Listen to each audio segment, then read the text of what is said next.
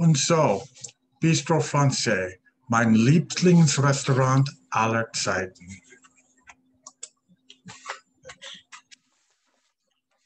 Als Bistro Francais 1975 gegründet wurde, war es das erste Restaurant in Georgetown, das nach 22 Uhr vollständiges Abendessen und Wein bot. Mittagessen wurde 11 bis 16 Uhr mit kleinem Hauptgericht, Suppen, Salaten und Sandwiches angeboten. Von 11 bis halb 14 Uhr boten sie ein preiswertes Menü an, das Vorspeise, eine Auswahl aus Hauptgericht, Nachtisch und ein Glas Tafelwein enthielt. Abendessen war von 16 Uhr bis Mitternacht erhältlich. Zu den Spezialitäten gehören Hundchen mit Pommes frites, Lachs mit Spinat, Entenbrust in Honiggläser mit Reis, Lammsteak mit Kartoffeln und Kronenbohnen, Fische entgräten in Zitronenbutter und Angus Steak und Rotweinsauce mit Pommes frites.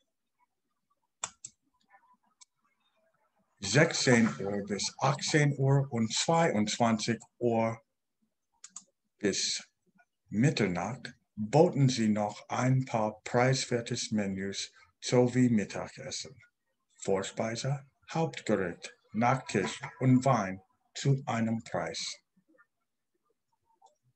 Servier, servieren Sie Gäste immer für mindestens eine Stunde nach dem Ende des täglichen Spiritus, Spiritosenverkaufs mit einem speziellen spätabendlichen Kater von Mitternacht bis zum Schluss. Spezialitäten sind französischen Zwiebelsuppe, Hundchen, Omelettes und Eier Benedikt. 1991 nahm ich eine Position als Kellner ein. 1993 bat mich der Besitzer, Ober zu werden. Es gibt immer eine kleine ein Anzahl deutscher Reisegruppen, die in unserem Restaurant gegessen haben. Als ich in ein 1991 als Kellner begann, waren sie im Sommer vielleicht 30 bis 35 deutsche Touristen pro Woche. Nach zwei Jahren des persönlichen Wartens auf diese deutsche Gruppen war ihre Zahl auf 100 bis 150 pro Woche gestiegen. Zu dieser Zeit würde ich sie Obst Ober genannt. Und durch meinen letzten Sommer 1999 servierten wir über 800 touristische Mahlzeiten pro Woche und von 16 bis fast 23 Uhr Montag bis Donnerstag und manchmal auch Freitag sprach ich nur Deutsch. Die Reiseleiter präsentiert mir mit einem Zertifikat, aus dem hervorgeht, dass ich von fast jeder deutschen Touristin Großmutter zum Lieblingsgewalt würde.